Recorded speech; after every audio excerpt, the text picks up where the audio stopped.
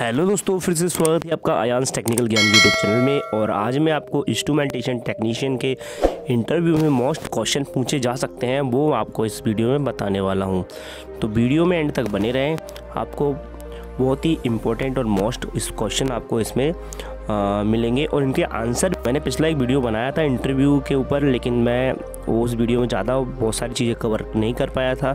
तो मैंने इसका ये पार्ट टू बनाया है। और इसमें मैं ही आंसर पूछूँगा और मैं ही सॉरी मैं ही क्वेश्चन पूछूँगा और मैं ही आंसर दूँगा।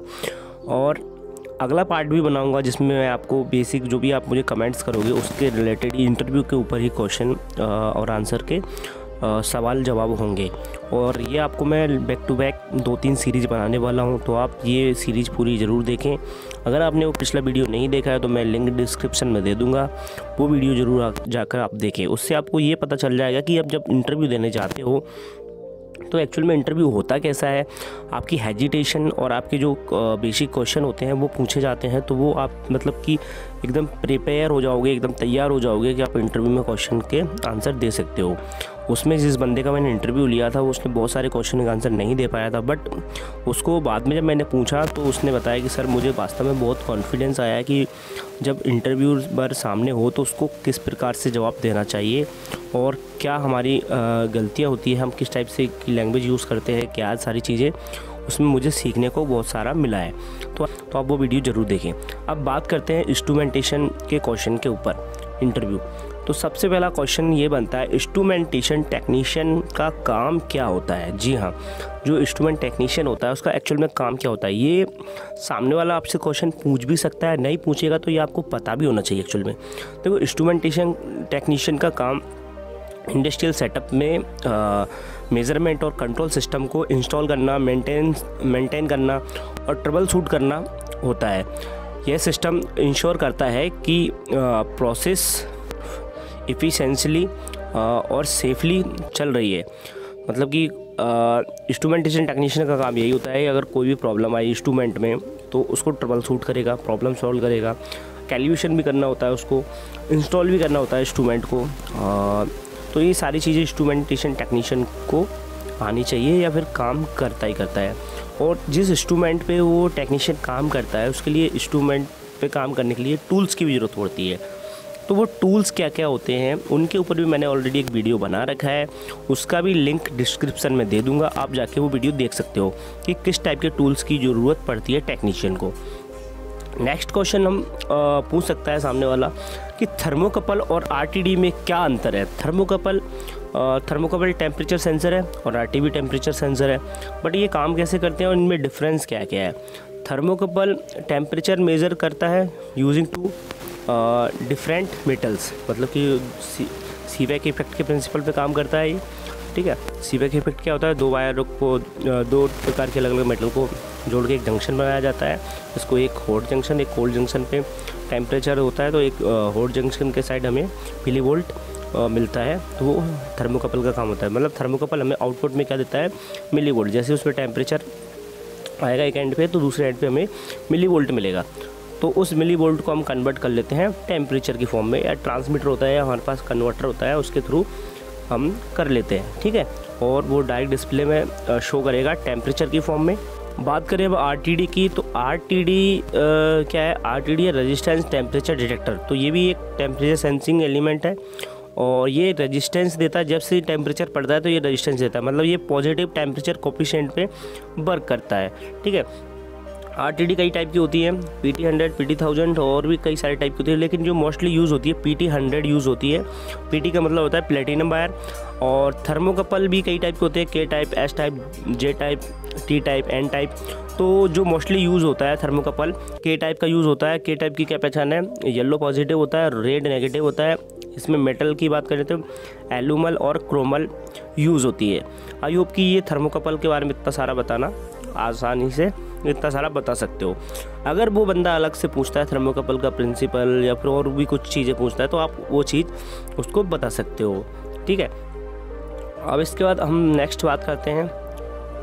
पीआईडी कंट्रोलर का मतलब क्या भाई? पीआईडी कंट्रोलर का मतलब होता है एक लूप होता है, एक पीआईडी कंट्रोलर एक कंट्रोल लूप होता है, जो कि फीडबैक मैकेनिज्म है, जो प्रोफेशनल इंट्रीगल और डेरिवेटिव कंट्रोल एक्शन और यूज़ करता है, और प्रोसेस वेरिएबल को कंट्रोल करने के लिए यूज़ होता है। ठीक है, फिर अब आता है नेक्स्ट क्वेश्चन प्रेशर ट्रांसमीटर क्या होता है और कैसे काम करता है? प्रेशर ट्रांसमीटर एक डिवाइस है, जो प्रेशर को मेज़र करता है और उससे इलेक्ट्रिकल सिग्नल में कन्वर्ट करता है। ठीक है प्रेशर ट्रांसमीटर, प्रेशर को इलेक्ट्रिकल सिग्नल में कन्वर्ट करता है और ट्रांसमिट भी करता है। ये प्रेशर ट्रांसमीटर होता है।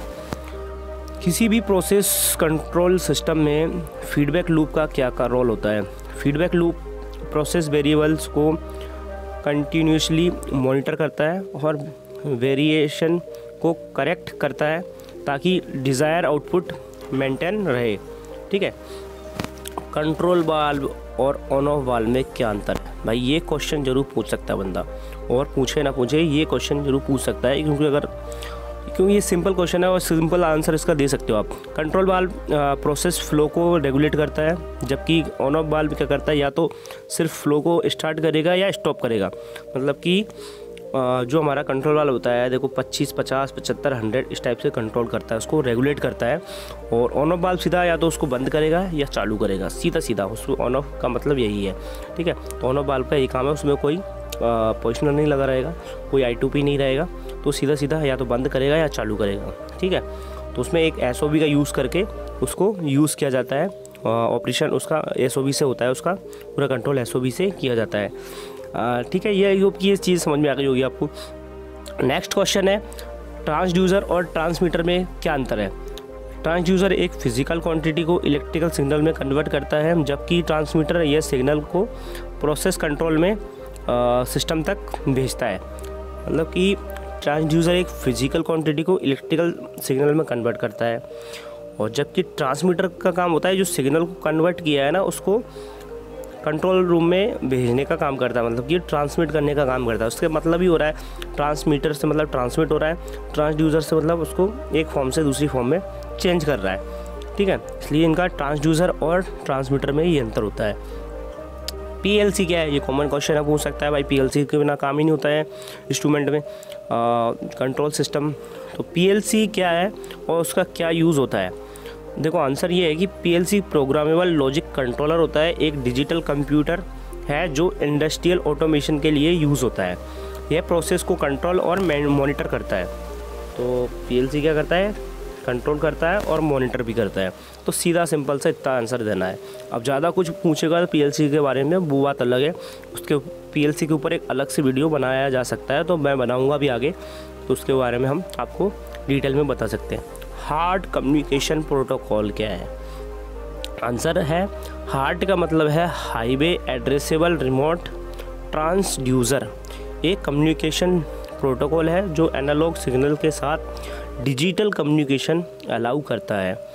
ये हार्ड कम्युनिकेटर से हम क्या करते हैं? ट्रांसमीटर जो होता है उसका कैलकुलेशन कर सकते हैं हम, उसकी डैम्पिंग चेंज कर सकते हैं, रेंज चेंज कर सकते हैं तो हम एक प्रकार से जो हमारा ट्रांसमीटर होता है, या तो वो पीटी हो सकता है, या एफटी हो सकता है, या एलटी हो सकता है तो उसको कम्युनिकेट करवाने का काम किया जाता है। अब हार्ड कम्युनिकेटर अलग अलग कंपनीज़ के हो सकते हैं। हनीवेल का होता है, जैसे कि फ्यूज़ी का होता है, और भी सारी कंपनीज़ के होते हैं।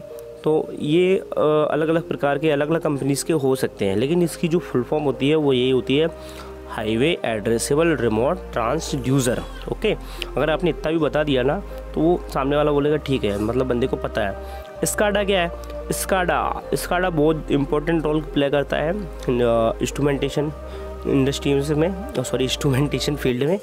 तो supervisory control and data equation ये एक सिस्टम है जो इंडस्ट्रियल प्रोसेस को मॉनिटर और कंट्रोल करता है using data from remote location देखो, स्काडा जो हमारा एचएमआई होता है, उसके ऊपर जो आइकन बने होते हैं जिसको हम विजुअली देख सकते हैं वो एक टाइप से स्काडा के थ्रू ही हम देख पा रहे हैं। तो ये एक स्काडा एक मान लो एक टाइप का सॉफ्टवेयर ही है। तो वो हमें विजुअली दिखाने के लिए आ, काम आता है स्काडा ठीक है? तो ये सुपरवाइजरी कंट्रोल डाटा इक्वेशन है। इसका फुल फॉर्म आपको पता चल ही गया है। नेक्स्ट हमारा क्वेश्चन आता है इंस्ट्रूमेंटेशन टेक्नीशियन को इलेक्ट्रिकल सिस्टम का कितना ज्ञान होना चाहिए? भाई इंस्ट्रूमेंटेशन टेक्नीशियन है, उसे इलेक्ट्रिकल की फ़ील्ड की भी नॉलेज होना चाहिए कि नहीं होना चाहिए? ये क्वेश्चन पूछा गया है। तो इंस्ट्रूमेंटेशन टेक्नीशियन का काम क्या है कि इलेक्ट्रिकल सिस्टम का बेसिक ज्ञान होना ही चाहिए, क्योंकि इंस्ट्रूमेंट और कंट्रोल सिस्टम को इफ़ेक्टिवली ट्रबल सूट कर सके। भाई इंस्ट्रूमेंटेशन टेक्नीशियन को वैसे पढ़ता भी है resistance temperature sorry resistance voltage ampere ये सारी चीज़ें वैसे उसको पढ़ना ही होती है। लेकिन फिर भी उसको पढ़ने के बाद भी नॉलेज होना चाहिए भाई इंस्ट्रूमेंट का चीज़ें कौन सी है इलेक्ट्रिकल की चीज़ें कौन सी है, कितनी सप्लाई आ रही है, क्या है, सारी चीज़ें उसको पता होना चाहिए, तब आराम से वो ये काम कर सकता है इंस्ट्रूमेंट के, ठीक है? पता चला कि 230 वोल्ट सप्लाई आ रही है और आपने डायरेक्ट उसको छू लिया, बोले कि 24 वोल्ट सप्लाई आ रही होगी, कोई दिक्कत नहीं। तो इस प्रकार से ऐसे काम नहीं होता है। तो आपको पूरा प्रॉपरली ये ज्ञान होना ही चाहिए कि भाई कौन सी इलेक्ट्रिकल सप्लाई कितनी आ रही है, क्या नहीं है।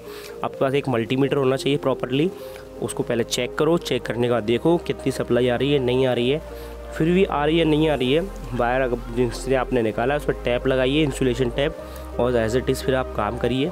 काम करने के बाद जैसे आपने वायर जो जहाँ से रिमूव किए थे, वहीं की वहीं वापस सेफली वो कनेक्शन कर दिए जाने चाहिए। ठीक है?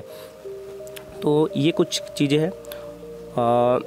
इसके बाद हम आगे बात करेंगे।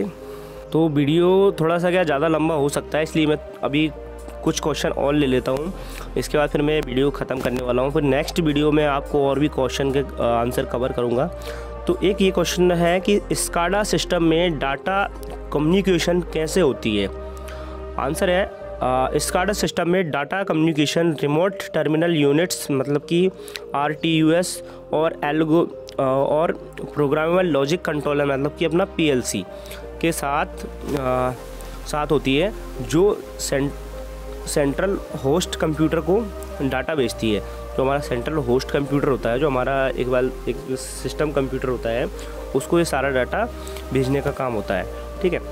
डीसीएस क्या है? डीसीएस डिस्ट्रीब्यूट कंट्रोल सिस्टम है और एक कंट्रोल सिस्टम है जो प्लांट के डिफरेंट सेक्शन को कंट्रोल और मॉनिटर करने का काम करता है यूजिंग डिस्ट्रीब्यूटेड कंट्रोलर्स जैसे कि हमारा पीएलसी है, ऐसे ही एक डी होता है। लेकिन पीएलसी और डीसीएस में थोड़ा बहुत अंतर होता है। पी एल सी थोड़ा फास्ट होता है। डीसीएस थोड़ा सा नैनो सेकंड के अंतर में कुछ स्लो होता है। लेकिन आजकल एडवांस आ रहे हैं, दोनों लगभग बराबर ही सेम है। पर पीएलसी को हम ई में यूज़ करते हैं, जबकि डीसीएस को हम ई में यूज़ नहीं करते हैं। ठीक है? ये चीज़ आपको पता होना चाहिए। बाकी आपको इसके ऊपर डीसीएस और पीएलसी के ऊपर और स्काडा के ऊपर ये अलग से सेपरेट एक वीडियो बनाएँगे क्वेश्चन आंसरों के जिसमें क्वेश्चन आंसर ही होंगे और आपको समझाया जाएगा। तो ये कुछ क्वेश्चन थे और आई होप कि ये वीडियो आपको अच्छा लगा हो। अच्छा लगा चैनल को सब्सक्राइब करें, वीडियो को लाइक करें।